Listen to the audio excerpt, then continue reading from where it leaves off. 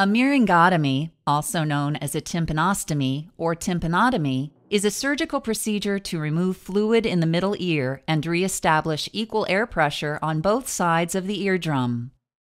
The ear consists of three main parts the outer ear, the middle ear, and the inner ear.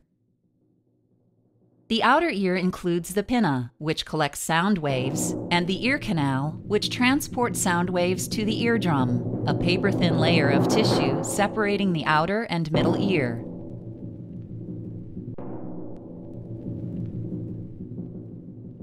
Sound waves cause the eardrum to vibrate, which in turn vibrates three tiny bones inside the middle ear called the malleus,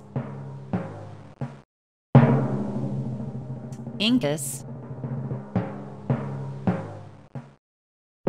and stapes,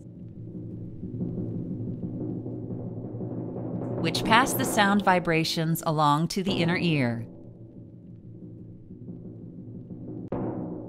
The inner ear translates vibrations into electrical signals, which are picked up by the auditory nerve, sent to the brain, and interpreted as sound. This complex process occurs instantly, allowing us to hear the sounds around us as they happen. For the eardrum to vibrate properly, the air pressure in the middle ear must be at the same level of pressure as air outside the ear. Air enters the middle ear through the eustachian or auditory tube. When you yawn and hear a pop, your eustachian tube has just carried an air bubble to your middle ear to equalize the pressure.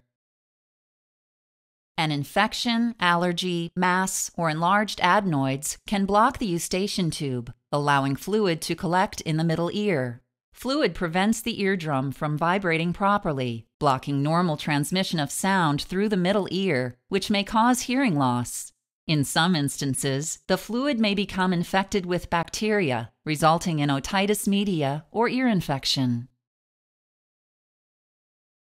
Reasons for performing a myringotomy include draining ear fluid trapped in the ear for more than three months, treating chronic ear infections not cleared up with antibiotics, restoring hearing loss caused by fluid buildup, preventing delays in speech development due to hearing loss in children, or testing fluid from the middle ear for bacteria.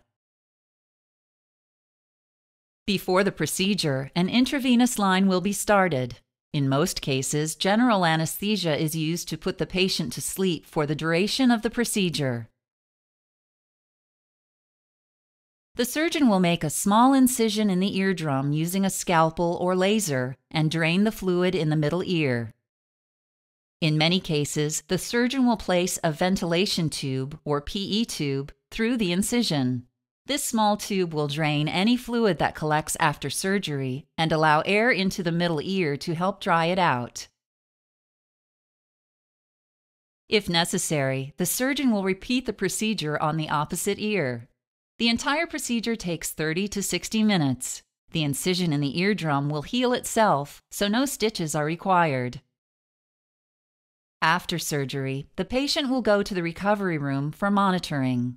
Children may be fussy after their procedure and should be encouraged to eat and drink anything they can tolerate. If your child has pain, avoid aspirin and instead use acetaminophen at an age specific dose.